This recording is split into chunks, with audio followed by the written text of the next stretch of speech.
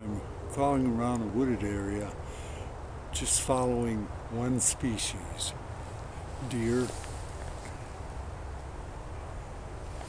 If you did your tracking field reference, you have a six-way to tell you what signs to look for. So I'm looking for as many of those signs as I can. I'll show you what I find. Very old deer scat. Fresher deer scat.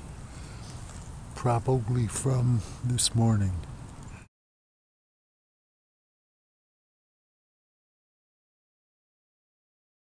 It's an actual bed instead of just a temporary lay which they use when they're feeding.